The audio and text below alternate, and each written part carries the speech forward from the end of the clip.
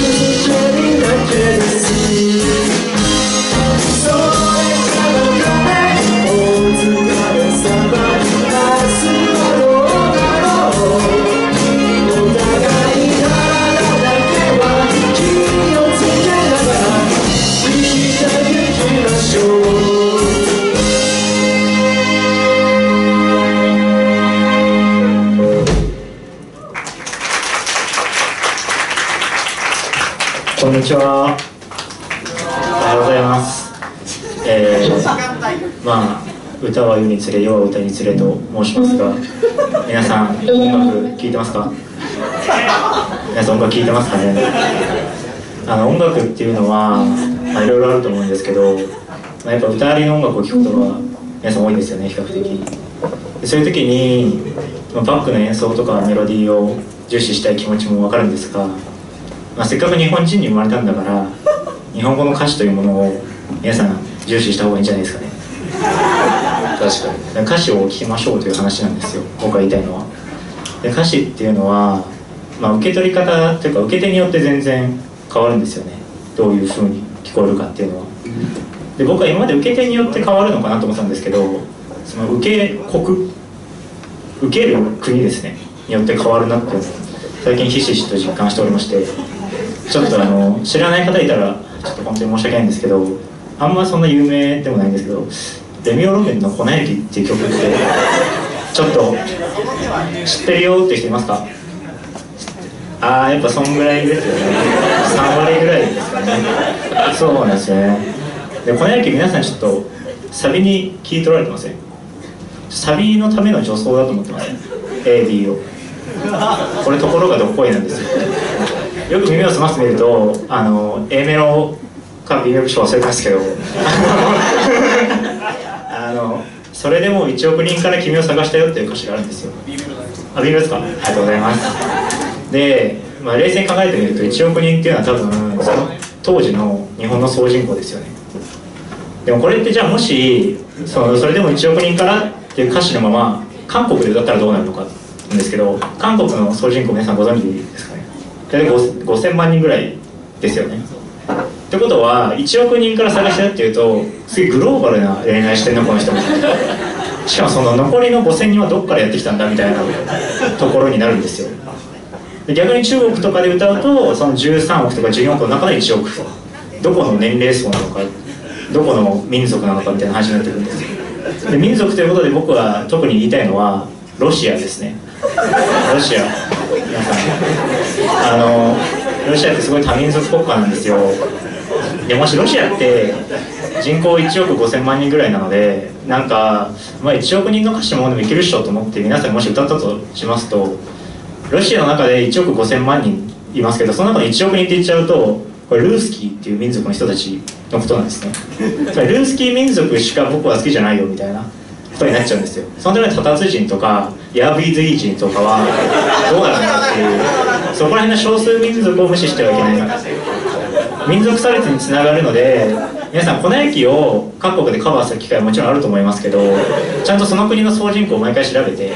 その国の総人口に変えて歌ってあげてください。っていうのがメッセージですね。というわけで、えー、今まで皆さんちょっと知ってる曲ばっか続いてつまんないなと思ったと思うんですけど次からあの皆さん全然知らない曲が始まります。じゃあ前さん歌の準備大丈夫ですか？あ毎度毎度すいませんね